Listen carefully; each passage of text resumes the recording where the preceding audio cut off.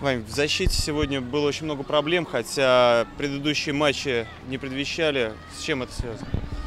Наверное, связано с тем, в первую очередь, что «Динамо» хорошо играет на контратаках, и поэтому а мы пропустили быстрый гол, и нам нужно было отыгрываться, и из-за этого у них получались быстрые контратаки.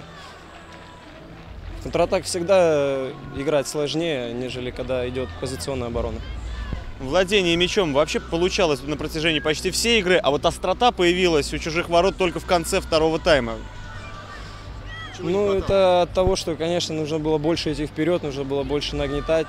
Ну, что-то не получилось, может быть, погода сыграла свою роль, потому что было душно, очень тяжело было играть. Наверное, может быть, из-за этого. Будем разбирать, там уже посмотрим, почему. Ну, Можно сказать, что все-таки «Динамо» физически переиграли, учитывая, опять же, последние 10 минут, когда не, не вылезали с чужой половины поля.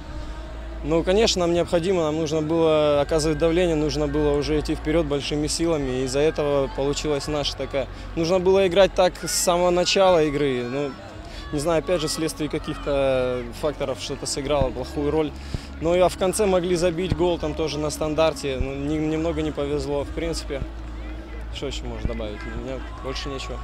Твой со стандарта гол – это наигранная, наигранная комбинация или по ситуации? Ну, мы на тренировках тренируем, какая Подача, удар головой, что Какая наигранная, обычная ситуация.